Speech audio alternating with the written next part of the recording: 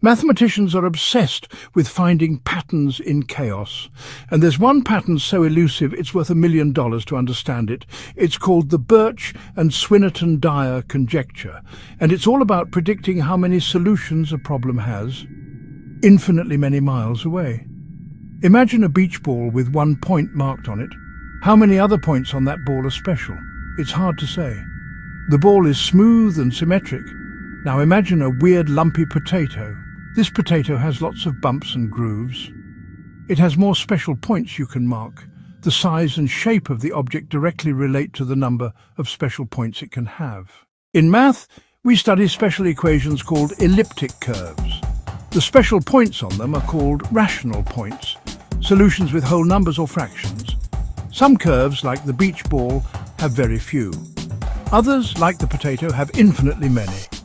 So how can we tell if a given curve is a beach ball or a potato without finding every single point, which is impossible? The breathtaking guess by Birch and Swinnerton-Dyer is this. There's a secret fingerprint for each curve called its L function. The deeper this function's graph hits zero at a specific point, the more complex the potato, meaning the more rational solutions the equation has.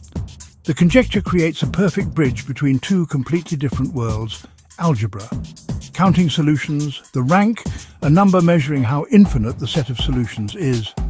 Analysis, the L function, the order of vanishing, a number measuring how deeply that function graph plunges through zero. Proving this bridge exists would revolutionize number theory. It's like knowing you can predict the entire ocean's ecosystem just by analyzing a single drop of water. This isn't just abstract poetry. The math of elliptic curves is the backbone of modern cryptography, protecting your online banking and texts. Understanding them at this deep level could break or create unhackable codes for the future. So, the next time you see a smooth, simple shape and a weird, lumpy one, remember, mathematicians are betting a million dollars that the difference between them can be measured by a single, profound equation.